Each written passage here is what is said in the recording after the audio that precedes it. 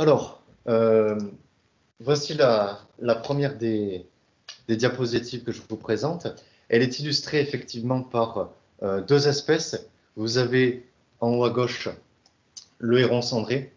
Euh, je vous le présente ici parce qu'en fait, c'est une espèce qui était en déclin jusqu'aux alentours des années 80. Et depuis, elle a été, elle a été protégée et c'est une des, espèces qui est en forte croissance au niveau de ses effectifs. Et puis, de notre côté, je vous présente euh, des hirondelles de fenêtre euh, qui vivent dans leur milieu euh, entièrement naturel. Elles ne sont pas du tout dans un milieu urbain. Et si je vous les présente, c'est parce qu'elles ne sont pas, tout pas réellement menacées, pas réellement en déclin au niveau national. Mais par contre, elles subissent des déclins de manière locale. C'est-à-dire que vous avez dans certaines régions en France ben, des coins où elles se portent plutôt bien et puis des coins où les populations sont en chute libre. On enregistre des fois des déclins de l'ordre de 80-90%. Et donc cette présentation, elle va se tourner autour du déclin des oiseaux. On va d'abord aborder le déclin de la biodiversité dans, dans, ses aspects généraux, et puis on poursuivra de manière à aborder quelques points de réflexion sans aller trop loin, parce que bien entendu, ça risque par la suite euh, de déboucher sur des heures de discussion si on devait être vraiment exhaustif. Donc on va se restreindre à ce qui, est finalement une caractérisation du constat de perte de biodiversité à l'échelle mondiale. Donc pour ce faire, eh bien, euh, je vous présente en capture d'écran ici le rapport de l'IPBES 2019. C'est le dernier rapport qui a été publié. L'IPBES, c'est l'équivalent du GIEC. Je pense que vous avez tous entendu le GIEC, le groupement d'experts euh, sur le, climat.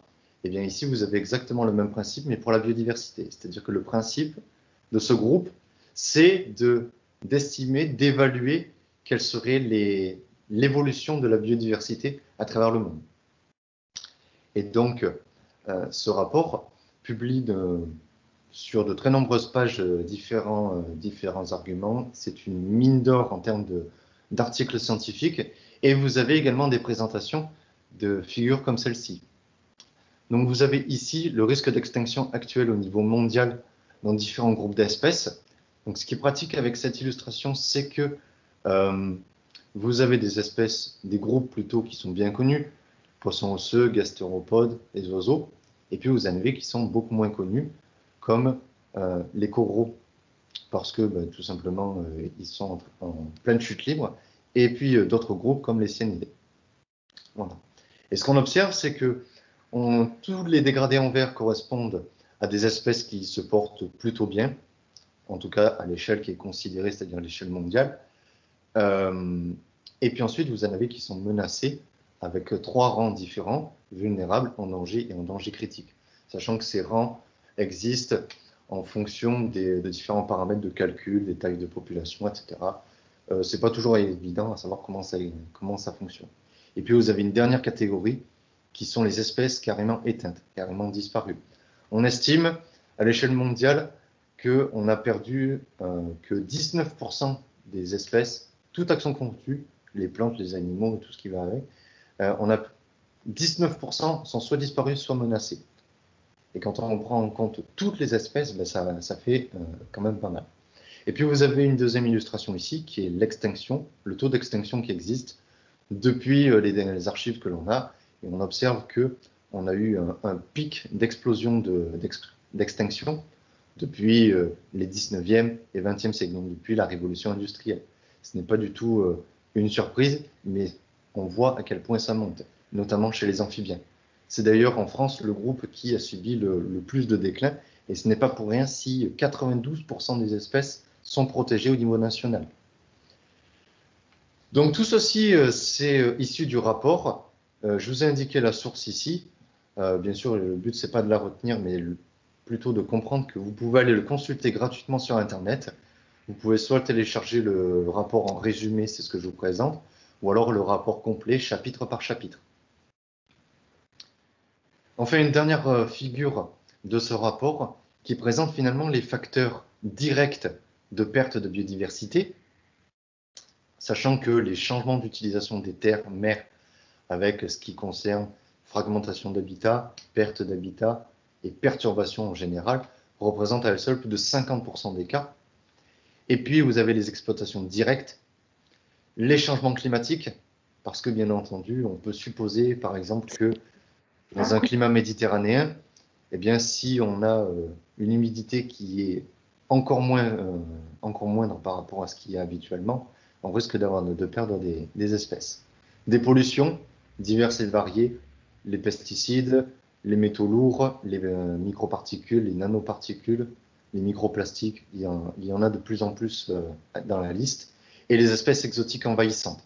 On verra sur les oiseaux qu'il n'y en a pas tant que ça, on ne va pas l'aborder, mais on serait sur de la botanique ou sur euh, les amphibiens, on aurait tout de suite beaucoup plus d'espèces euh, exotiques envahissantes.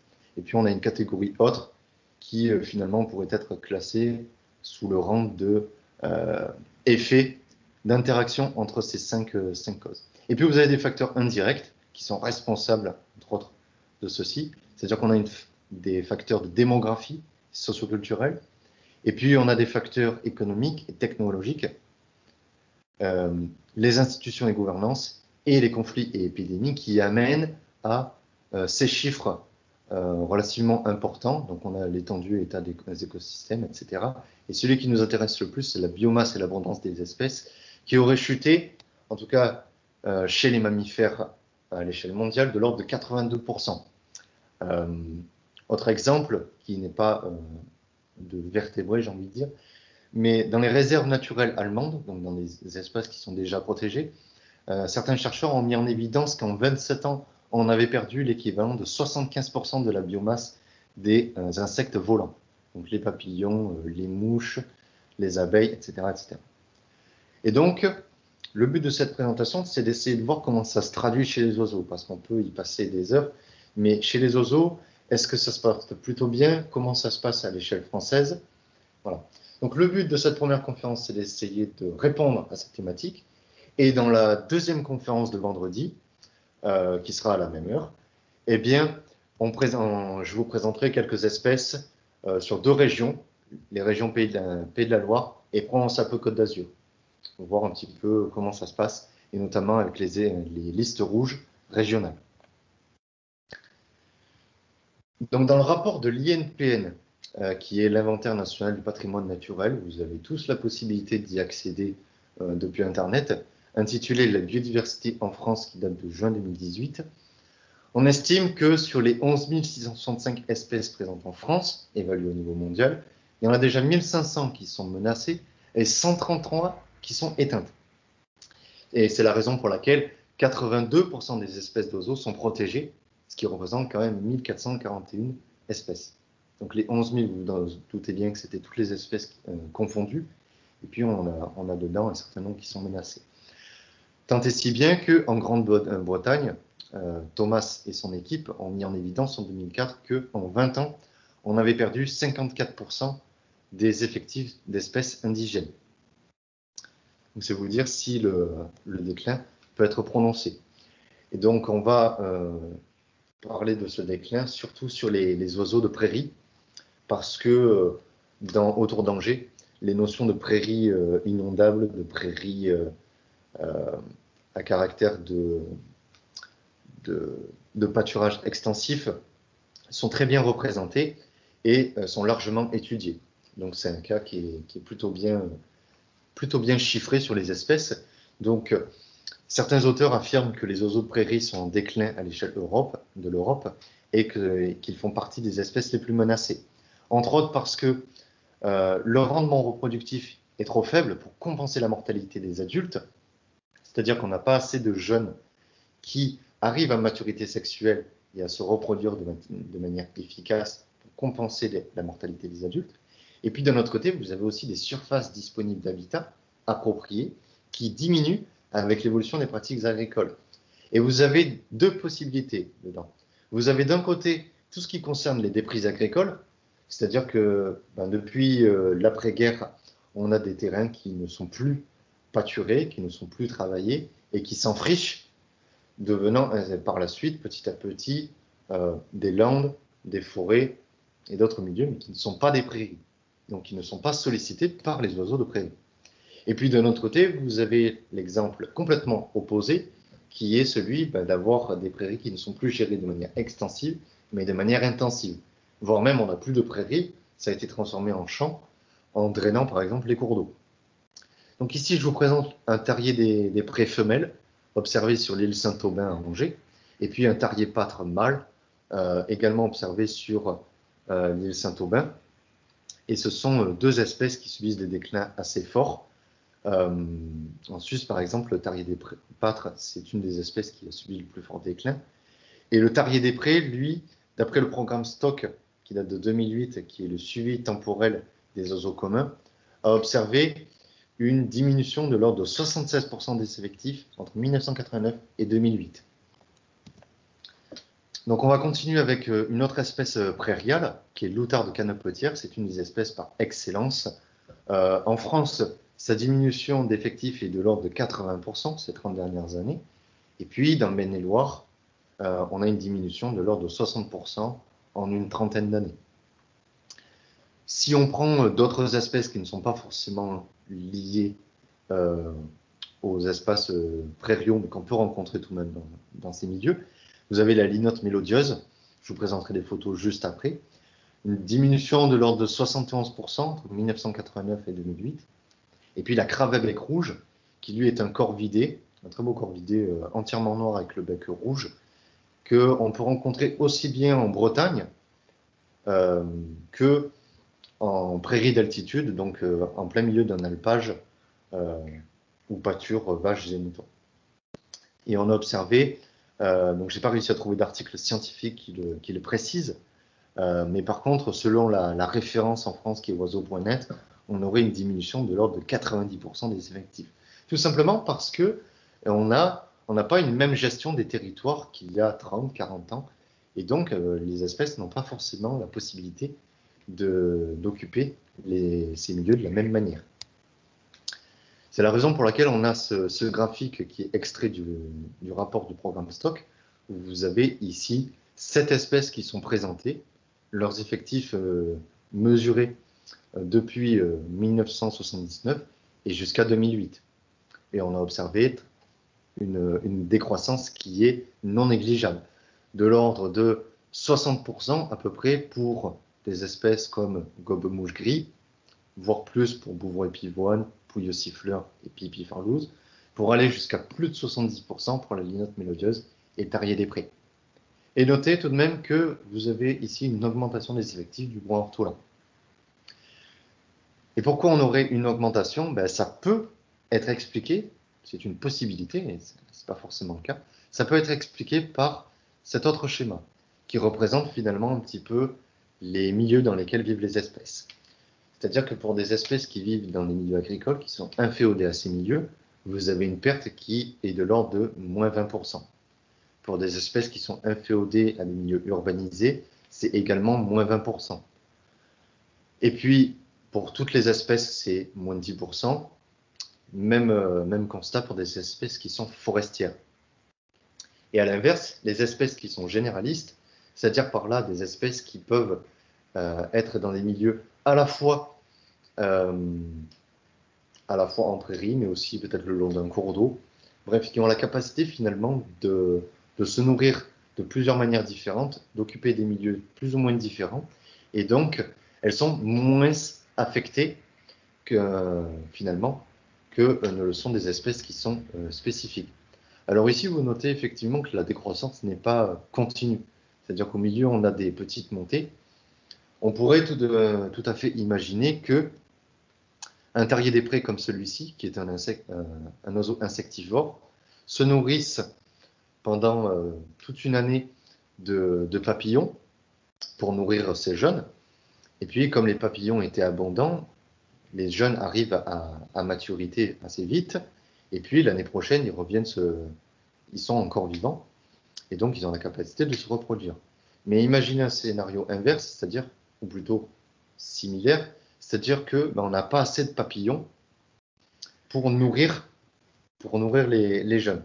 Eh bien, les, parents vont peut-être abandonner leur nichée, peut-être qu'elle sera, euh, qu'elle sera finalement délestée, tout simplement parce qu'ils n'ont pas les moyens de les nourrir. Donc en fait, ça peut s'enchaîner comme ça. C'est-à-dire qu'une année, vous avez de papillons, donc on peut nourrir. Et puis l'année d'après, comme les papillons ont été consommés, ils n'ont pas forcément eu la possibilité de se reproduire. Donc, eh bien, il y a peut-être moins de papillons.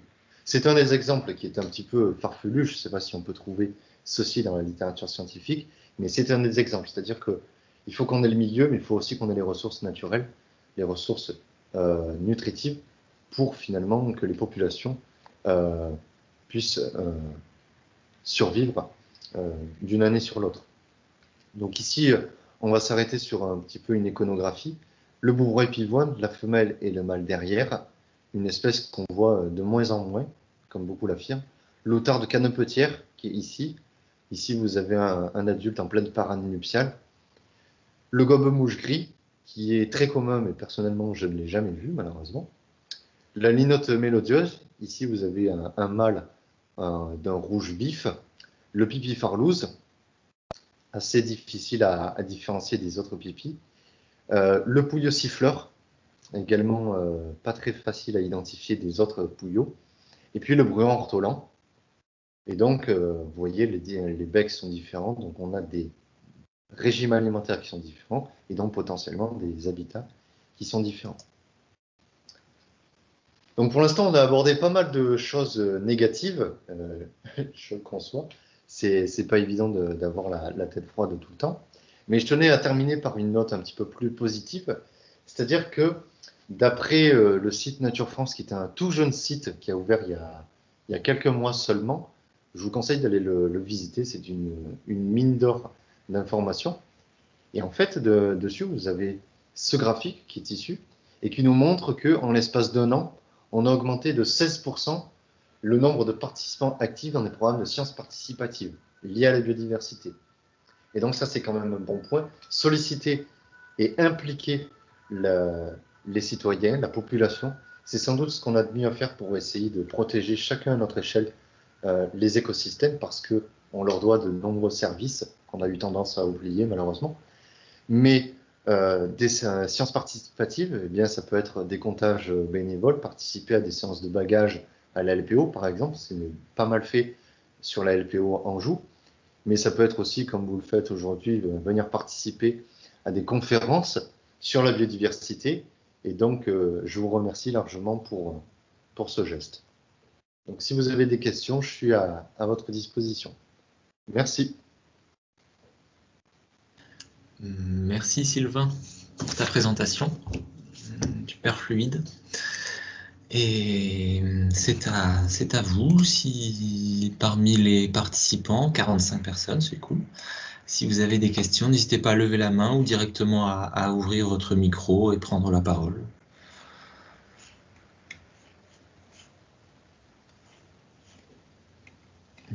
Autrement, moi j'aurais une question à te poser, Sylvain. je t'en prie. Mais euh, oui, bon, on va, y aller. Hein. Donc, euh, par rapport aux oiseaux généralistes et spécialistes, euh, dans les recherches que tu as fait, est-ce que tu as trouvé des, études qui prenaient en compte les différents, les différents caractères en fait biologiques de l'espèce qui pouvaient être à la fois d'un côté euh, spécialiste, d'un côté généraliste? Si je prends un exemple du râle du Genet, euh, son habitat, il est très spécialiste, il, a besoin d'un certain type de milieu, les prairies ouvertes, euh, d'un type de substrat assez particulier aussi, j'imagine, et les essences herbacées qu'il y a autour. Donc il est très spécialiste sur l'habitat. Mais à l'inverse, j'imagine que sur l'alimentation, il pourrait, il pourrait être différent. Il pourrait être un peu plus généraliste et être à la fois insectivore ou manger peut-être, peut-être chasser des petits micro-mammifères ou autre chose. Est-ce que tu as vu des études euh, qui parlaient de ça ou qui prenaient en compte cette, cette euh, approche un peu plus complexe, euh, un peu plus différente de, de, la, du caractère spécialiste ou généraliste simplement non, honnêtement, je n'ai pas trouvé ce, genre d'études. Par contre, ce qui peut être noté, c'est que les, adultes peuvent avoir un régime alimentaire, mais souvent les poussins ont un régime qui est relativement strict. Euh, c'est-à-dire que ben, là, le râle déjeuner, c'est un exemple, mais au même titre que le tarier des prés, que même le bruant des roseaux, en fait, au début, ils sont souvent nourris avec des insectes. Donc en fait, c'est cette ressource nutritive qui est euh, enrichie en protéines qui va permettre de euh, nourrir les poussins. Donc les adultes peuvent avoir un régime alimentaire et les poussins un autre. Un autre exemple d'ailleurs à ce sujet, ça peut être tout ce qu'on appelle les galliformes de montagne, c'est-à-dire euh, le tétralyre, le grand tétra, la perdrix bartavel, le lagopède alpin. Tout ceci sont en fait, les adultes peuvent consommer des fleurs, des bourgeons, des baies, alors que les, poussins sont insectivores stricts. Et ça, c'est quelque chose qu'on a du mal à concevoir. Et du coup, quand on a du pâturage sur le milieu, eh bien en fait, si le pâturage est relativement bien géré, il n'y a pas trop de soucis. Par contre, en cas de surpâturage, en fait, on, déjà, on limite l'accès à la nourriture herbacée aux adultes, mais en plus, sans, sans herbacée, eh bien, on n'a pas d'insectes. Donc, impossible de nourrir les poussins. D'accord. C'est-à-dire qu'effectivement, ils sont installés, inféodés à un milieu. Oui. Et donc, après, ben, ils consomment ce qui est, ce qui est sur place. Oui, bien Ils ne sont pas forcément obligés d'avoir une seule ressource nutritive, parce que d'ailleurs, c'est compliqué après de la trouver. Oui.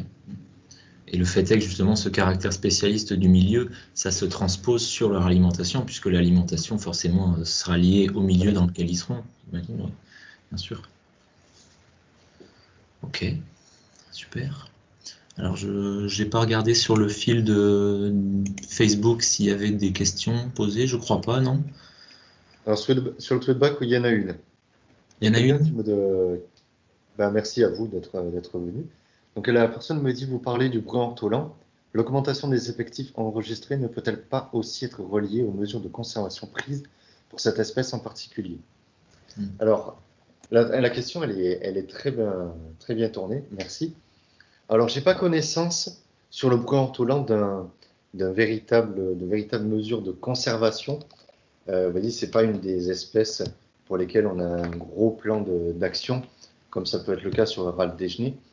Euh, donc je ne peux pas vraiment euh, répondre à ça, mais ça pourrait être le cas. Ça pourrait être le cas. Si les mesures de conservation sont bien gérées, c'est-à-dire qu'on arrive à trouver un compromis entre les besoins biologiques d'un côté et puis euh, ce qu'on peut réellement faire sur le terrain, eh bien dans ce cas, ça, peut, ça peut effectivement contribuer à l'augmentation des effectifs. Mais à l'inverse, ben, on l'observe pas, pas, toujours. En Belgique, je crois, c'est le bruit emproyé qui, est, euh, qui fait l'objet de, certaines mesures de, conservation. On arrive à trouver quelques, quelques idées, mais ce n'est pas encore suffisant pour que les effectifs repartent réellement à la hausse. Or là, quand même, en quelques années, on avait 11% d'augmentation. Donc euh, voilà, peut-être que c'est lié au programme stock en lui-même, ou peut-être qu'effectivement, ça peut être lié à des mesures de conservation. Ok, super. On a une autre question de Manon Buguet. Oui, vas-y. Euh, oui, j'ai deux questions. Quelles sont, vous, vos actions et à quoi vous vous destinez après votre master? Alors, mes actions euh, uniquement autour des, oiseaux ou en général? Oui, en général. En général, mais je pense que le, j'ai une philosophie de vivre qui est un petit peu de dire que, en fait, on a le, le respect s'apprend par la connaissance et donc, en fait, j'essaie de justement de forger ma, mes réflexions pour essayer de limiter mon impact et surtout de continuer à sensibiliser un petit peu la, population. Et de le faire surtout euh, au travers seulement de ce que je fais et pas seulement en me mettant dans un organisme comme la LPO. Je suis encore relativement indépendant et, c'est ça que j'aime bien. Et je, passe aussi surtout par ma, passion par la photo pour justement continuer à sensibiliser et au travers d'un autre regard, essayer de euh, démontrer un petit peu euh, ce qu'il existe sur nos territoires et à quel point euh, ils, peuvent, ils peuvent nous rendre service. Et ça, j'essaie de l'exploiter de plus en plus chaque année, arriver au niveau de l'été, en, m'intéressant de plus en plus aux insectes et aux araignées. Et donc, à quoi je me destine? Mais Finalement, j'aimerais bien rester généraliste dans le sens où euh, j'ai pas envie de, me spécialiser dans un taxon animalier, par exemple, ou même végétal, euh, et finalement maximiser mes ressources là-dessus, et peut-être du coup perdre en efficacité ailleurs. J'aimerais bien continuer à avoir les, mes yeux un peu de partout et à continuer à prendre en compte un peu tous les éléments du système pour essayer de le comprendre au mieux dans sa fonctionnalité. Donc après, en termes de, suite au master, bah, c'est plutôt euh, un chargé d'études naturaliste qui me conviendrait, ou un ingénieur Natura 2000, dans lesquels on a des, missions qui sont variées et qui sont euh, assez riches en, en finalement en, retour d'expérience. Je ne sais pas si j'ai répondu euh, clairement à votre question. Si, si, merci beaucoup. Donc tu ne serais pas destiné à mettre de conférences ou, euh, autre chose comme ça? Ça peut se faire, mais ce serait peut-être pas le, métier. Euh, le métier Oui, pas seul. À côté, il une corde en plus à l'arc.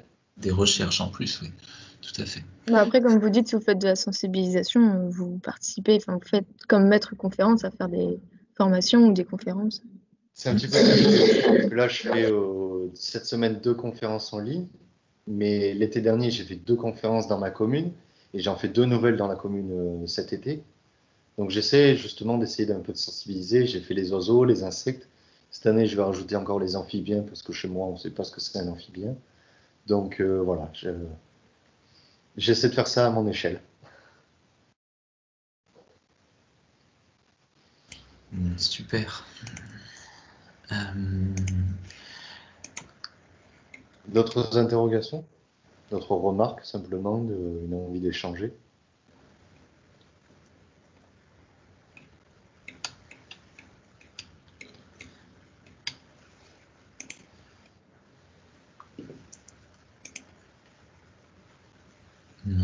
Ça, a l'air pas mal. Si, pour plus tard euh, les, participants ont des questions à, formuler, vous pouvez toujours, euh, n'hésitez pas à mettre un post sur, euh, sur les réseaux pour poser vos questions et, on se chargera de les relayer, voire d'y répondre le mieux possible. On a une, on a une remarque sur le tweetback. Vas-y, vas-y, vas-y. Alors, je pense que c'est la même personne qui, par rapport à la question sur le bruit ortolan, et cette personne me dit par mesure de conservation, je pensais notamment et surtout à la réglementation de la chasse. Euh, le bruin ortolan, je ne pense pas qu'il soit chassé parce qu'il n'est pas, dans les espèces traditionnellement chassées, à l'inverse d'espèces comme les grives, comme tout ce qui concerne les grives, les merles, etc. Donc peut-être que c'est une espèce qui peut avoir une, euh, comment dire, une, euh, il peut y avoir une perte d'effectifs sur des techniques de chasse comme la, chasse à la glu. Et du coup, ben, elle est piégée par la glu alors que ce n'est pas une espèce qui est forcément visée. Dans la région PACA, c'est une, une, tradition qui est, encore d'actualité. Euh, mais après, je ne pense pas qu'elle soit chassée. Une, et comme, comme les autres. Tu m'as envoyé quoi?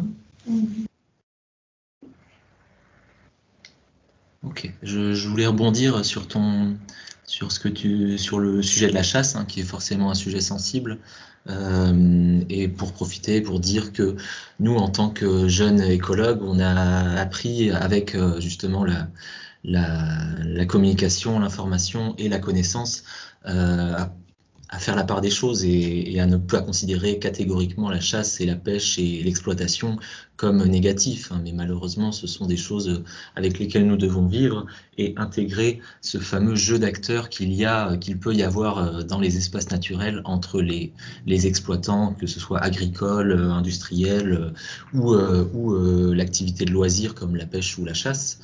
Euh, avec euh, les mesures de prévention, de conservation des milieux naturels, euh, tout ce qui peut être mis en place pour protéger le, patrimoine naturel, tout en garantissant bien sûr l'épanouissement du patrimoine culturel que nous, que nous avons dans nos campagnes et, partout à travers le monde d'ailleurs. Tout à fait. tout à fait. D'ailleurs, les prairies de l'île Saint-Aubin, ça serait, des, ça serait des, forêts marécageuses comme c'était à l'époque. Ça ne serait pas des prairies. Les espèces qu'on gagne en, en espèces prairiales, on ne les aurait plus si mm. on laissait, si on laissait, euh, laisser faire. Tandis que le pâturage extensif, lui, nous permet d'avoir encore un peu de maîtrise là-dessus. Alors on aurait peut-être un écosystème plus riche avec des forêts qu'avec des prairies, on peut, on peut imaginer, mais, euh, mais bien sûr, euh, c'est plus compliqué que ça. On a une question d'une personne dont je ne vois pas le nom, je ne peux pas vous citer. Les initiales sont FF. Oui, bonsoir, vous m'entendez Oui. Oui. Merci pour la présentation.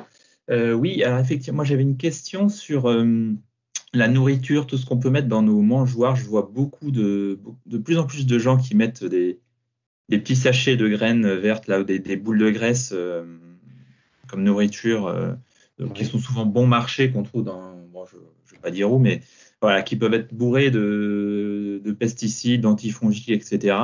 Et je voulais savoir s'il y avait des études qui parlaient de la mortalité, enfin, qui, qui, qui, étudiaient ce point-là, en fait, parce que j'ai cru comprendre que les, les, petits passereaux, notamment, ils étaient très sensibles aux, pesticides, etc. Et donc, je me demandais si on n'avait pas un impact, on ne pouvait pas avoir un impact négatif sur. Euh, Alors, on peut en avoir un, oui. À la fois, euh, on peut en avoir un direct avec les, la nourriture que l'on donne directement. Euh, ça a été démontré chez les passereaux, de sûr. Je ne saurais pas vous sauter, citer pardon, d'articles de mémoire, mais je sais que ça a été démontré justement. Et donc c'est pour ça que depuis quelques années, on essaie de, changer un petit peu la manière dont on procède parce que certaines personnes n'hésitaient pas à mettre bah, tous les jours des graines, tous les jours des, boules de graisse, et finalement ça causait plus de tort qu'autre chose. Et ça a été, euh, ça a été l'élément déclencheur, ça a été les, les, personnes qui nourrissaient les canards avec du pain, parce que le, le pain c'est une alimentation qui n'est pas du tout convenable pour les, pour les canards, qui sont granivores. Euh, le pain, ça les fait gonfler, ça leur euh, donne des troubles intestinaux, et finalement, ça leur fait plus de mal qu'autre chose. Euh, donc oui, il y a des effets directs, déjà directs, et puis il y a des effets indirects qui sont, eux, pour l'instant, sous-estimés. C'est-à-dire que quand vous, euh, vous favorisez l'attraction de, de, plusieurs individus, de plusieurs espèces sur un seul site, qui est souvent restreint parce que ça correspond peut-être qu'à une seule mangeoire, mais en fait, vous avez aussi toute une notion de parasitisme qui peut être liée. C'est-à-dire qu'on regroupe des individus qui sont en plus pas forcément grégaires, c'est-à-dire qu'ils n'ont pas forcément l'habitude de vivre en groupe. Et là, d'un coup, on va tous les regrouper ensemble. Et donc, bah, peut-être que ça peut contribuer à euh, propager différents, euh, différents parasites, différents virus. Et d'ailleurs, l'année dernière, pendant le premier confinement, comme les gens étaient chez eux et qu'ils voyaient plein d'oiseaux chez eux, ils en ont profité pour leur donner à manger, pour continuer à voir ce spectacle.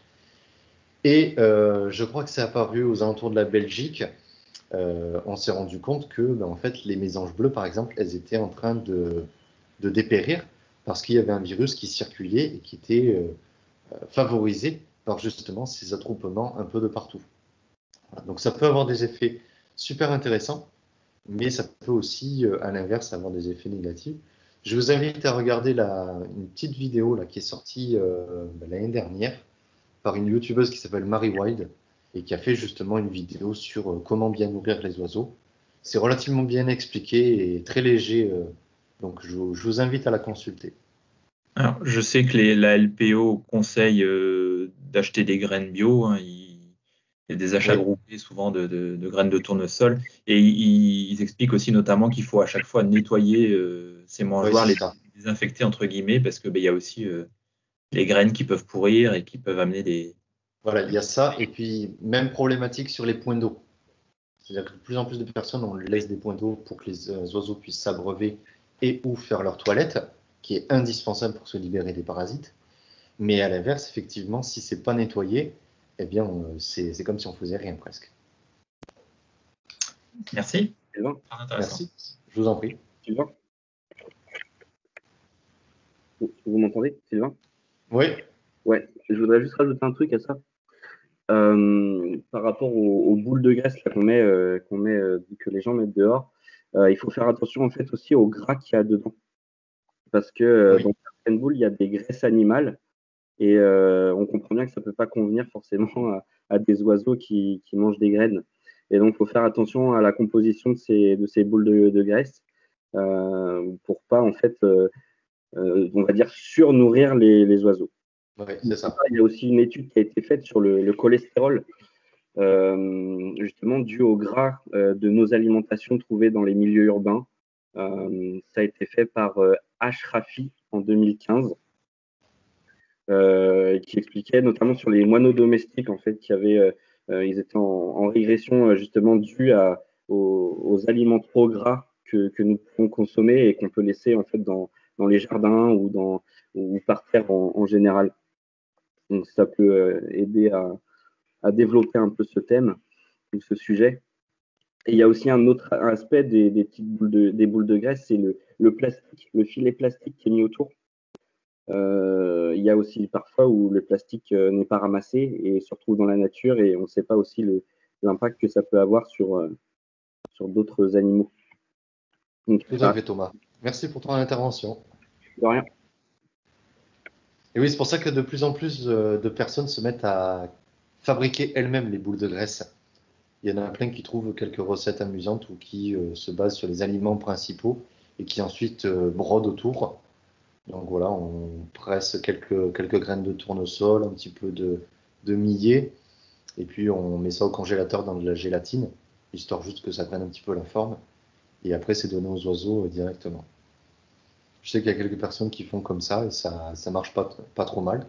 Mais effectivement, après, on sait pas trop, euh, il n'y a pas d'étude euh, qui est faite. Enfin, ça manque d'études par contre. Oui. On n'a peut-être pas trop évoqué le, déclin de la biodiversité sur le plan évolutif, mais euh, on peut facilement imaginer que le fait de nourrir euh, artificiellement entre guillemets les, oiseaux, euh, ça peut jouer sur leur, leur baisse de sélectivité naturelle. Peut-être, mais pareil pour, pour, nourrir les, les, pigeons, pour nourrir les colverts. Après, ils sont plus habitués à se nourrir d'eux-mêmes. Oui, tout à fait. Alors qu'ils arrivent très bien à passer l'hiver. Oui.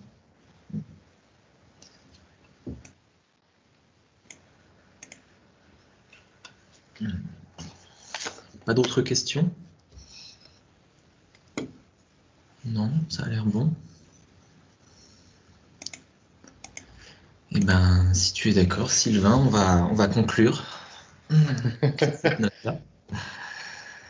Donc, euh, merci, à, merci à vous tous euh, d'être venus, d'avoir euh, assisté à cette superbe conférence. Merci à toi, Sylvain, pour merci à vous tous. Pour ton travail. J'ai deux, trois informations à vous rappeler avant, avant de vous laisser.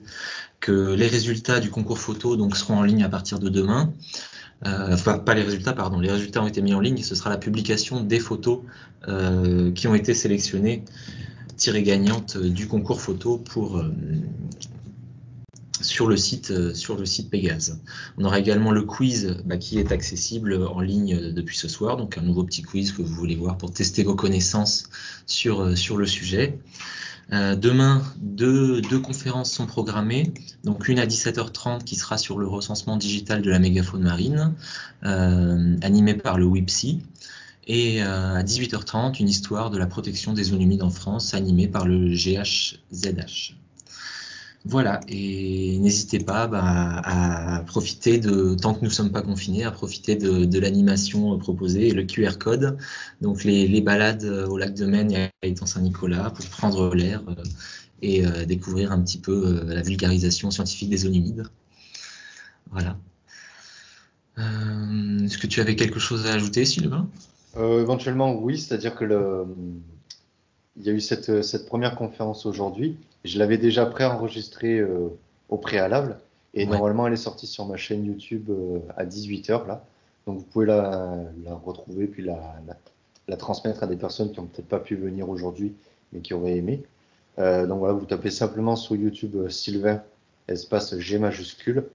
Et normalement, vous devrez trouver une, une, une page YouTube à, avec cette vidéo dessus qui est fraîchement sortie. Super. Donc je vous remercie encore une fois, toutes et tous. Et puis euh, peut-être qu'on se reverra vendredi. Eh ben, merci à toi Sylvain. merci. Tout le monde, une bonne soirée à tous. Oui.